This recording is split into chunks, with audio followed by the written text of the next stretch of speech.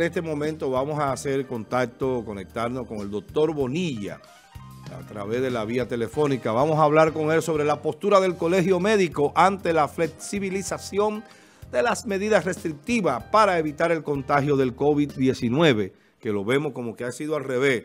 Mientras más contagio, más flexibilidad. No entendemos. Vamos a ver, Bonilla, buenos días. Muy buenos días, ¿cómo están todos? Yo bien, nosotros bien, ¿y tú cómo estás? Bien, bien, gracias. Escuche que no puede ir presencial, pero los compromisos no me lo permitieron. No, no, no te preocupes, no hay problema. Tu participación siempre es importante, no importa la vía, solo que participes. Buenos días, doctor. Cuéntanos, ¿cuál es la posición de ustedes con relación a la flexibilización del toque de queda y de, los tiempos de tránsito libre eh, cuando hay más contagio en este momento?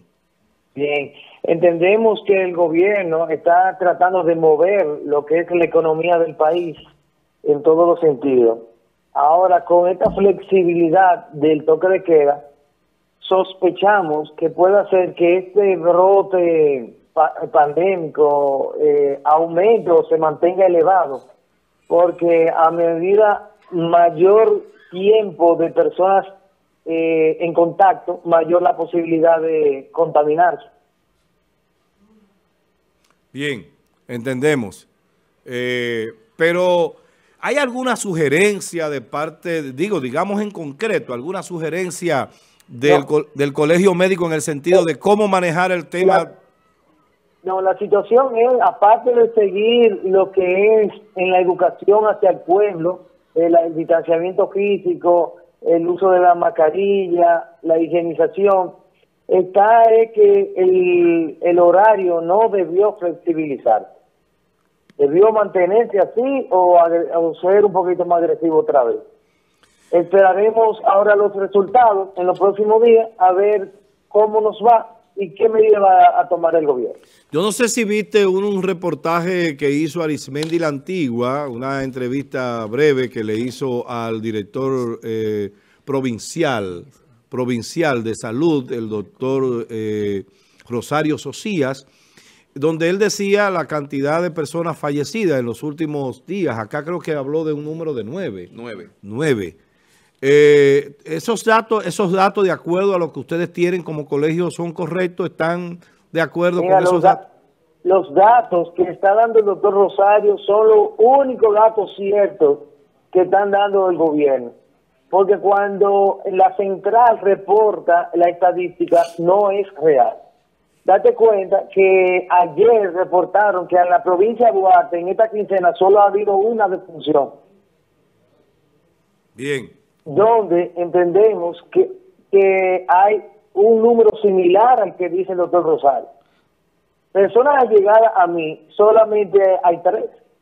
Entonces, allá en la central dicen que ha habido un solo fallecido por COVID y no es real. Ah, vuelvo y repito, la estadística que Rosario Socia ha, dicho es la que más se acerca a la realidad en la provincia de Duarte. Doctor, eh, ustedes como colegio médico, porque ya esto no depende solamente de, la autoridad. Eh, saben lo que está pasando. Usted lo acaba de decir ahora, que, los datos reales son lo que está dando Luis, pero que lo de la capital no, son los reales. ¿Qué están haciendo? Ustedes no pueden intervenir, no pueden ir a solicitar la cantidad de fallecidos real que la tiene la provincial de Duarte y hacérselo de público conocimiento a la gente. Correcto, eso le corresponde al presidente del Colegio Médico, el doctor Waldo Ariel Suero, quien se ha estado promulgando en diferentes ocasiones y ha estado solicitando que se diga la real estadística para que la población entienda la, la, verdad. Doctor, pero que ustedes, es, que, es que Eduardo Ariel Suero es un cuadro de, la atención a esta enfermedad. Eh, pero es que, eh, es que Eduardo Ariel Suero es un cuadro de, del partido de gobierno, entonces, ¿cómo, Claro, pues, es ¿eh? una realidad. Entonces, usted, por ejemplo, aquí, eh, como, como colegio, no tiene que regirse por lo que diga el presidente. Pudiéramos eh, aquí, como, como colegio, solicitarle los datos reales a la provincial y entonces dárselo a conocer a la población que tiene el derecho de, estar informado. Correcto. Eso es lo que, acabo de decir. Si las la autoridades aquí están dando la, lo real o muy cercano a lo real, pues hay que seguirlo afectando. El problema está en la central. Bueno. Bueno. Eh, es penoso. Eh, yo, les, yo le eh, sugeriría al, al, colegio médico que le solicite vía certificación al doctor Luis Rosario Socia, que, que, es el único que está diciendo las cosas como son, que entregue eso y que se lo den a, a conocer a la gente. Sería lo ideal. Bien, Bonilla, ¿cómo están los números de las ocupaciones de las, eh, de las camas, de, la, de UCI, ese tipo de información que es importante saberlo en este momento? Ah, ok, parece que hay problemas con la conexión con el doctor. Recuérdense que estamos conversando con el doctor Marco Bonilla, presidente del Colegio Médico Dominicano en la provincia, y que eh, lo estamos haciendo vía telefónica es muy probable que él en medio de su avatar del día, del día a día, ¿no? Esté también respondiendo nuestras preguntas y probablemente eso haya causado la rotura de la comunicación. Pero ya estamos, sí, ya lo tenemos de nuevo ahí. Eh, la pregunta que te hice, eh, Marco, fue de que cómo anda el número de ocupaciones de camas por COVID y de las UCI por COVID. Adelante.